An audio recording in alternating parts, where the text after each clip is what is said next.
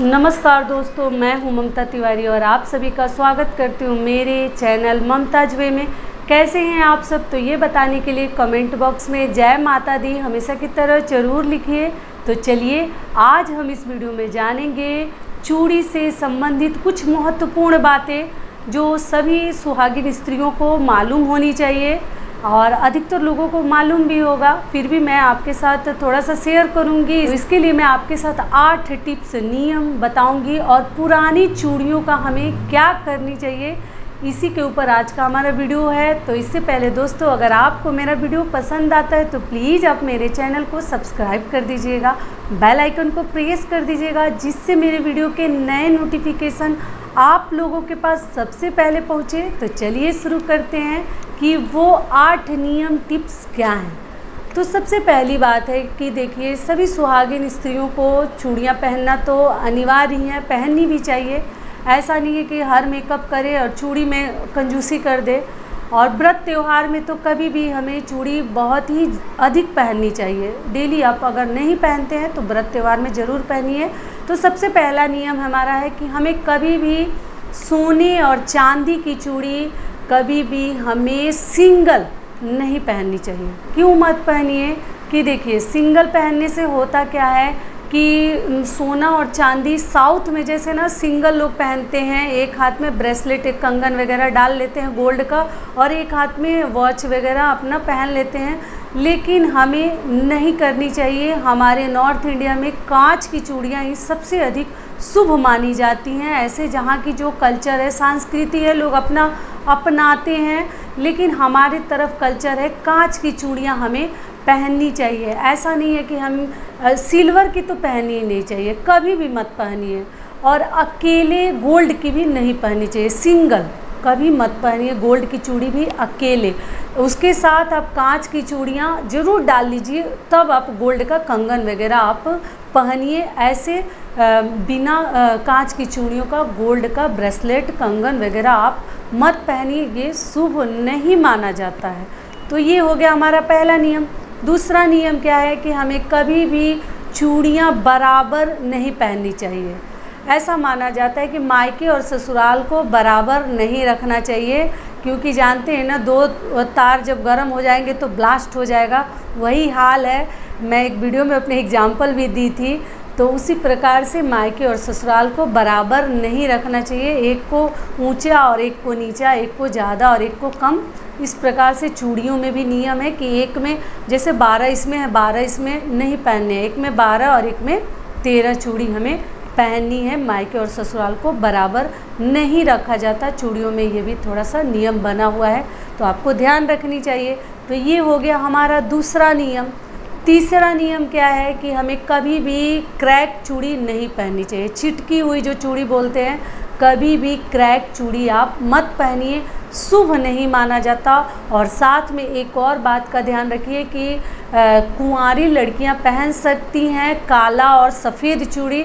लेकिन जितनी भी सुहागिन स्त्रियाँ हैं, कितना भी फ़ैशन कर लीजिए, कितना भी आधुनिक युग के बन जाइए मॉडर्न हो जाइए, लेकिन काला और सफ़ेद चूड़ी हमें परहेज करनी चाहिए, नहीं पहननी चाहिए, जो कि हर सुहागिन लेडीज़ के लिए शुभ नहीं होता। ये दो रंग जल्दी से नहीं पहननी चाहिए। कुंवारी लड़कियों के लिए थोड़ा बहुत चल जाएगा, लेकिन सुहागिन स्त्रियों के लिए बिल्कुल ये शुभ नहीं होता है तो आप मत पहनिए। तो ये हो गया हमारा तीसरा नियम। चौथा नियम क्या है? चौथा नियम है कि मान लीजिए हम कुछ अच्छा सा चूड़ी वगैरह पहने हैं और अपने घर में या किसी तीज त्यौहार में और कहीं से कुछ अशुभ समाचार सुनने को मिल जाता है, फैमिली है, परिवार है, कहीं कुछ ना कुछ सुनाई दे ही देता है। तो अगर आपके घर में वैसा नियम है, हमारे तरफ़ तो नियम है कि वो चूड़ी निकाल कर रख दिया जाता है जल्दी से।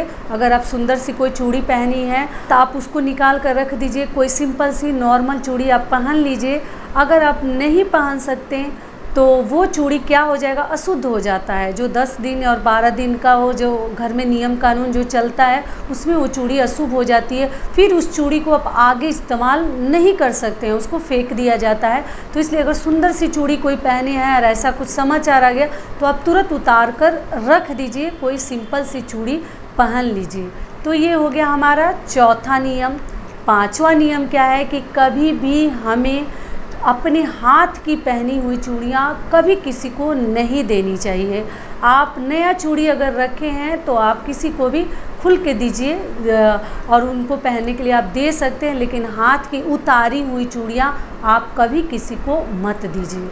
कभी किसी के शादी, विवाह, मैरिज एनिवर्सरी हो या कुछ और हो, उसमें आपको ज़रूर सुहाग की चीज़ों की दान करनी चाहिए। उसी बहाने जो ही दान कर ले हम सुहाग की चीज़ों की तो कम से कम चूड़ी का एक डब्बा, बिंदी का एक पत्ता और सिंदूर, इतना तो आप किसी को भी दान स्वरूप या किसी रिलेटिव का अगर मैरिज एनिवर्सरी है तो उसमें आप सुहाग की इन चीज़ों को तो आप ज़रूर दे सकती हैं। तो इस तरीके से आप ज़रूर दीजिए, क्योंकि सुहाग की चीज़ों का दान करना बहुत शुभ माना जाता है। इससे हमारा सुहाग भी बढ़ता है। तो भगवान हमारा सौभाग्य बना कर रखें और हम दान करें। तो ये हो गया हमारा पांचवा नियम। छठा नियम क्या है? छठा नियम है कि कभी भी हमें अपने हाथ को बहुत देर तक खाली नहीं रखनी चाहिए। जैसे कि हम चूड़ी वगैरह बड़ा मैचिंग मिलाते हैं और मैचिंग मिलाने में कौन कितना है कौन ज़्यादा है ऐसे करने में आ, हमारा हाथ जो है खाली रह जाता है निकाल कर डालने में। उस बीच उस दौरान हमारा हाथ जो है दो तीन सेकेंड के लिए भी खाली नहीं रहना चाहिए शुभ नहीं माना जाता। या तो आप वहाँ कोई कलरफुल धागा वगैरह रखिए हाथ में लपेट लीजिए या पोलिथीन जो होता है उसमें हाथ डालकर रखिए लेकिन दो सेकेंड के लिए भी अपने हाथ को आप खाली मत रखिए जो कि सुहागिन स्त्री के लिए शुभ नहीं माना जाता। तो ये हो गया हमारा छठा नियम। सातवां नियम क्या है? सातवां नियम क्या है कि हम देखिए, किसी भी प्रकार की चूड़ी पहने, वो सोने की हो, या वो चूड़ा हो, या वो मेटल की हो। मार्केट में बहुत तरीके की चूड़ियाँ जो है आजकल अवेलेबल हैं। आप किसी प्रकार की चूड़ियाँ अगर आपको शौक़ है तो आप पहन सकती हैं, कोई वर्जित नहीं है। लेकिन साथ में दो, एक, चार, कम से कम कांच की चूड़ियाँ ज़रूर डाल लीजिए। चूड़ियाँ तो सभी हैं, लेकिन उसी में कांच की चूड़ी बहुत अधिक शुभ होता है। तो कांच की चूड़ी को ही शुभ माना जाता है। बाकी हर राज्य के अलग अलग नियम है। कहीं चूड़ा भी पहना कर शादी होती है।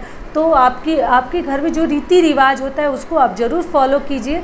लेकिन अगर जिनके घर कांच की चूड़ियाँ पहनी जाती हैं तो वो किसी प्रकार की चूड़ी पहनती हैं। उसमें कांच की दो चार चूड़ियाँ ज़रूर डाल लीजिए।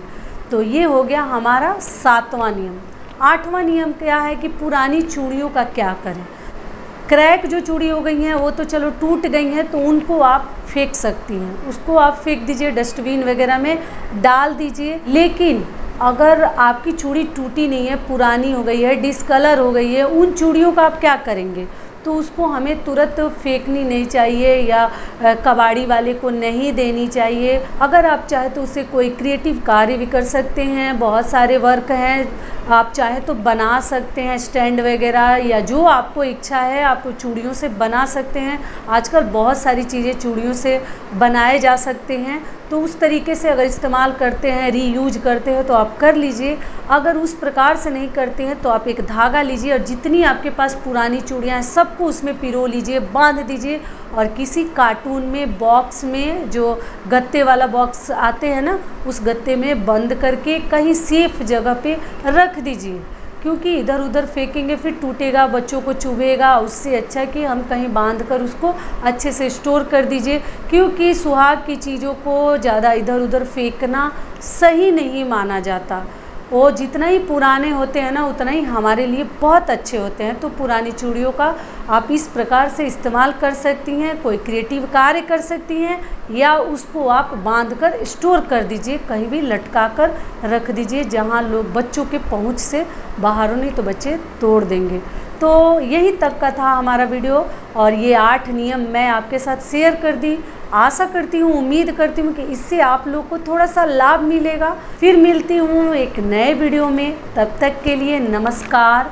स्वस्थ रहिए, सुरक्षित रहिए और हमेशा मुस्कुराते रहिए।